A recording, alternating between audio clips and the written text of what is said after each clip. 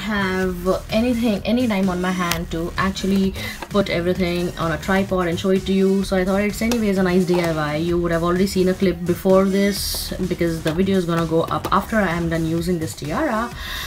Lot of talking. So this is how i actually made it. Ignore i was just trying some nail art which was good for an hour and then it all fell off anyways.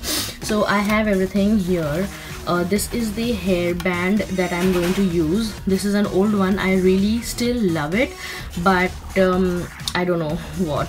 Um, it's like a little faded away. So I'm gonna use this hairband uh, these leaves I'm not sure. So you have seen the final product. You'd know what I use what I did not use these are a lot of flowers different types of. So there's nothing but the plastic thing the plastic flowers so that it sticks and all of that um, I'll show you next clips when we start making it and let's just go with the flow.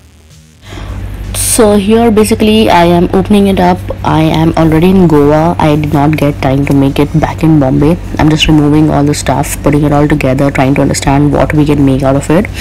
And I finally realized that uh, this flower bunch was big enough to go around the flower that I already had on my hairband so I'm just gonna put that on. It looked very amazing very nice. The off-white and my absolutely favorite purple color went very well together.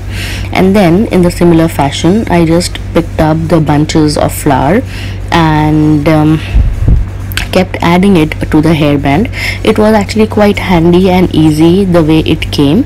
And once I was happy with how I wanted the flowers to be I just tied them with a satin ribbon which will be easier to remove if I want to remove it in future.